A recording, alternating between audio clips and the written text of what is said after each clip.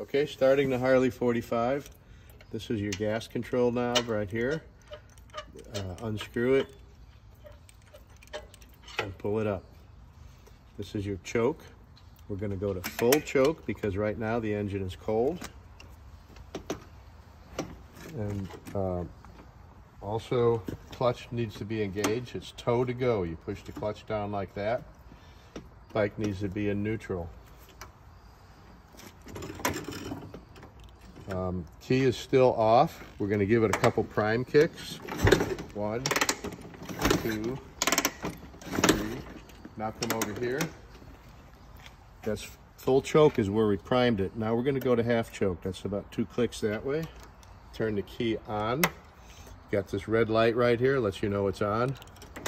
She should start.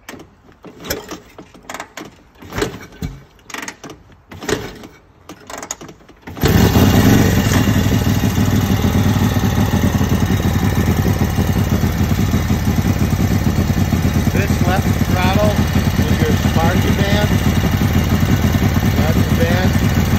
That's the card. The throttle. Once it starts, warms up,